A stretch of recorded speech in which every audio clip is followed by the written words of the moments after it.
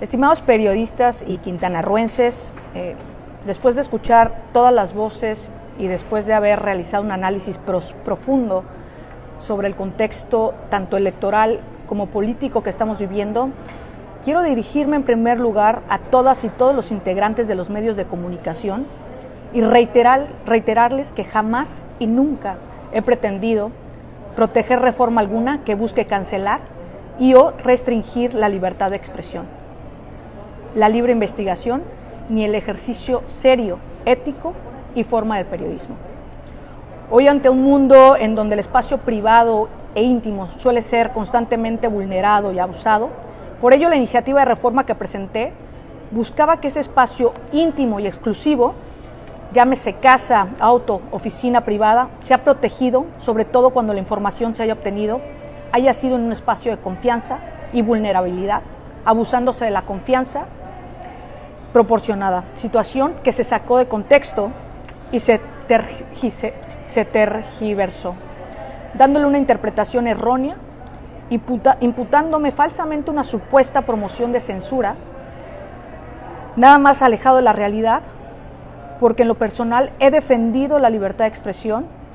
hecho en que nuestro Estado y es y debe ser punta de lanza y el mejor tamiz ante el que se pase el ejercicio de la función pública. La iniciativa presentada no modifica en esencia el tipo penal vigente, ya que se propone una reestructuración de la tipificación del delito, lo cual ha sido estudiado y analizado, observándose que el, texto que se propone, que es novedoso para el tipo penal actual, es el párrafo que tipifica la siguiente acción. Acceda a la información contenida en un aparato para el procesamiento de datos o cualquier dispositivo de almacenamiento de la información sin autorización de su propietario o poseedor legítimo. Es de puntualizarse que el tipo penal actual, así como lo propuesto por la iniciativa, únicamente se refiere a información que corresponde al ámbito privado de las personas, sin que se pueda entender un alcance mayor, en especie tratándose de servidores públicos respecto de quienes la Ley General del Sistema Nacional Anticorrupción previenen lo necesario al establecer mecanismos para el seguimiento de la evolución patrimonial de los mismos, así como para prevenir y sancionar todo acto de corrupción. Quiero dejar en claro que seguiré defendiendo la esfera privada de todos los quintanarruenses y que jamás buscaré, como hasta ahora no lo he hecho, que la libertad de expresión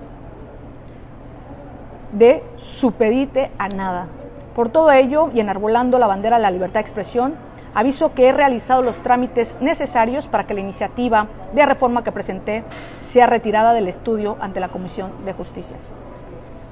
¿Alguien te dijo que subieras esta reforma? No, fíjate que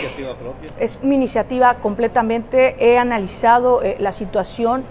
Cuando metimos esta iniciativa fue en un contexto completamente diferente por los tiempos que estamos viviendo hoy y siempre pensando en los ciudadanas y ciudadanos quintanarroenses, incluyendo todos los gremios. Nunca fue eh,